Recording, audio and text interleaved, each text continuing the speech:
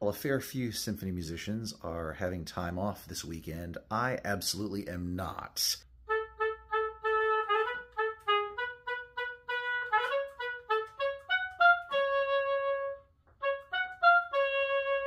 Got an extremely busy weekend ahead of me, and we're only doing technically two pieces.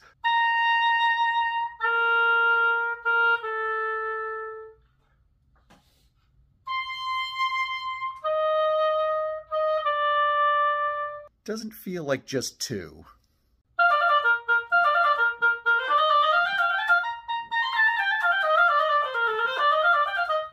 There it is, Tchaikovsky's Complete Swan Lake with the World Ballet, and then Mozart's Grand Partita all the way through.